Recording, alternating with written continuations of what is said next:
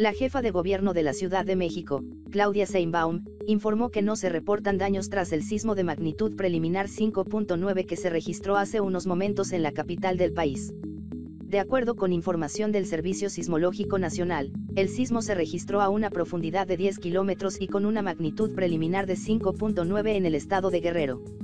Por medio de un comunicado, informó que la alerta se encendió a las 21.06 horas. Luz Elena Rivera Cano, titular de la Secretaría de Gestión Integral de Riesgos y Protección Civil de la Ciudad de México, informó que el movimiento telúrico fue prácticamente imperceptible. En el Aeropuerto Internacional de la Ciudad de México, AICM, se realiza la revisión de la infraestructura en pistas y terminales. No olvides suscribirte a canal Tuitealo y dejar tu like.